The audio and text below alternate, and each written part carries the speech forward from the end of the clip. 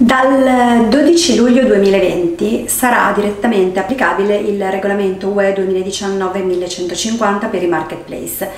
Eh, questo regolamento vuole promuovere l'equità e la trasparenza a vantaggio degli utenti commerciali dei servizi di intermediazione online e dei motori di ricerca.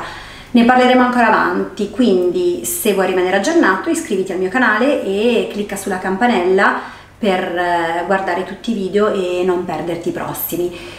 Um, il 31 luglio 2019 è entrato in vigore il regolamento UE 2019-1150 del Parlamento europeo e del Consiglio che contiene norme che sono direttamente applicabili in tutti i paesi UE dal 12 eh, luglio 2020. Il regolamento promuove eh, l'equità e la trasparenza per gli utenti commerciali dei motori di ricerca e dei servizi di intermediazione online, quindi le piattaforme e i marketplace digitali pensi a Zalando, Amazon e anche il marketplace di Facebook. Uh, parentesi, la differenza tra un e-commerce e un marketplace la sappiamo tutti, quindi il primo è lo store online che di solito gestisce pochi fornitori, vende prodotti spesso settoriali, mentre i marketplace sono dei grandi centri commerciali online sostanzialmente che eh, vengono, vendono prodotti anche molto diversi tra di loro e raggruppano eh, insieme molti marchi autonomi. L'e-commerce quindi ha un ruolo prettamente operativo e si occupa dell'intera gestione del processo di vendita, quindi coordina la logistica, gestisce gli ordini, le consegne, di solito anche un team che poi cura la parte legata alla comunicazione e al marketing. Eh, il marketplace invece ha un ruolo più di coordinamento, cioè gestisce eh, il tutto ma non ha un ruolo operativo poi nelle vendite. Quindi la sua gestione è decisamente più onerosa è molto più complessa di quella di un e-commerce, anche perché eh, deve coordinare tra loro moltissimi fornitori esterni, ognuno dei quali resta comunque titolare del proprio magazzino. Quindi eh, dal punto di vista dei soggetti che eh, partecipano allo scambio dei beni all'interno dei marketplace, eh, i marketplace possono essere quindi di tre tipi. I marketplace tra professionisti, i business to business, eh, nei quali i partecipanti poi le transazioni non rivestono lo status di consumatore, eh, i marketplace tra professionisti e consumatori, i business to consumer, nei quali gli acquirenti sono per l'appunto i consumatori, e mh, mm, i marketplace tra consumer, cioè tra consumatori, consumer to consumer. Il regolamento UE eh, vuole garantire un ecosistema online competitivo che sia equo e trasparente, in cui le imprese agiscano in modo responsabile. Eh, il regolamento va in questa direzione chiedendo ai titolari di piattaforme e marketplace digitali l'adozione di una serie di misure di equità e trasparenza. Eh, si applica quindi ai servizi di intermediazione online purché siano eh, forniti o proposti per essere forniti rispettivamente agli utenti commerciali e agli utenti titolari dei siti web aziendali che hanno eh, il luogo di stabilimento di residenza nell'Unione Europea e che tramite i servizi di intermediazione online o eh, i motori di ricerca online offrono eh, beni o servizi ai consumatori nell'Unione Europea, così prevede l'articolo 1 del regolamento.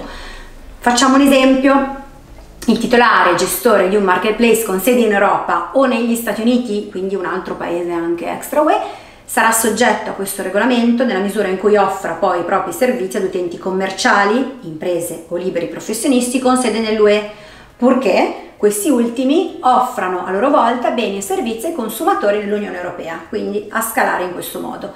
Eh, in sostanza il regolamento si applica ai rapporti contrattuali tra gli utenti commerciali che offrono beni o servizi B2C e i fornitori di servizi eh, di intermediazione online eh, che poi consentono di eh, raggiungere il consumatore finale. Si applica anche però ai titolari di siti web aziendali e ai fornitori di motori di ricerca online che vengono consultati dai consumatori.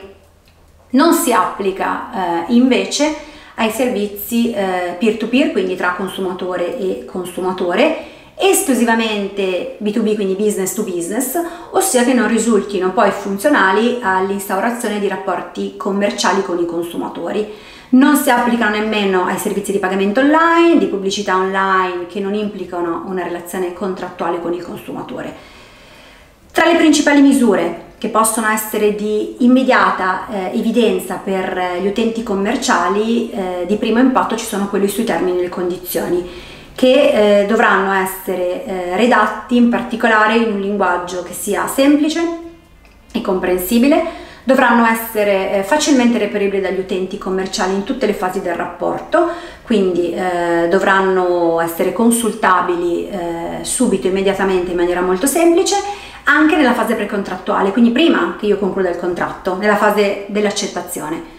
Dovranno indicare mh, le ragioni che giustificano le decisioni da parte del titolare eh, poi del servizio di intermediazione di sospendere, cessare o limitare in qualsiasi modo, eh, in tutto o in parte, la fornitura dei servizi di intermediazione online agli utenti commerciali. Dovranno comprendere le informazioni su eventuali canali di distribuzione aggiuntivi e potenziali programmi affiliati attraverso i quali i fornitori dei servizi di intermediazione online possano eh, commercializzare poi i prodotti e i servizi offerti dagli utenti commerciali. Le informazioni dovranno contenere anche indicazioni generali sugli effetti dei termini e le condizioni sulla proprietà e il controllo di diritti di proprietà intellettuale degli utenti commerciali. Eh, queste sono le regole di massima. Eh, I fornitori dovranno anche comunicare agli utenti commerciali qualunque modifica proposta dei loro termini e delle loro condizioni e la notifica dovrà essere inviata con un preavviso minimo di 15 giorni. Quindi nel caso in cui poi l'utente commerciale non accetti le modifiche avrà facoltà di risolvere il contratto.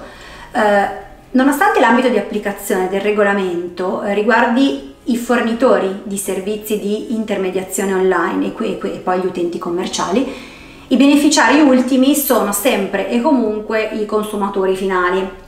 Il fine infatti è quello di contribuire eh, indirettamente a migliorare la fiducia dei consumatori nell'economia di queste piattaforme online e dei marketplace digitali. Quindi se il gestore del marketplace, che spesso ha delle informative, delle condizioni che non sono facilmente fruibili, offre i propri servizi a utenti commerciali, che a loro volta offrono poi beni e servizi esclusivamente a professionisti, il regolamento non troverà applicazione, quindi solo se il consumatore finale, cioè l'utente finale è un consumatore. Quindi i marketplace business to business restano comunque esclusi dal regolamento. Si applicherà, abbiamo detto, ai fornitori eh, marketplace digitali business to consumer eh, e sarà diretto alla regolamentazione, quindi alla fruibilità, fruibilità eh, più, più, immediata da parte di, di questi ultimi. Eh, rimane naturalmente il marketplace un luogo virtuale all'interno del quale avvengono gli acquisti di beni o servizi tra gli utenti, quindi eh, per forza ci sono in gioco diversi attori economici. Mm, naturalmente non trova applicazione eh, agli utenti commerciali dovendosi intendere quei privati che agiscono poi nell'ambito della loro attività commerciale o professionale eh, e nemmeno eh, nel caso di acquisti fatti da eh, persone giuridiche. Quindi l'importante è che poi il destinatario finale del rapporto sia comunque sempre il, il consumatore. Questa è una prima panoramica del, del regolamento. Per eh, qualsiasi domanda o ulteriori chiarimenti o approfondimenti su comunque la normativa che poi sarà direttamente applicabile dal prossimo luglio, eh, mi puoi contattare sul, sul, mio blog, mi puoi seguire sui miei social e sull'hashtag LexAroundMe. Grazie, ciao!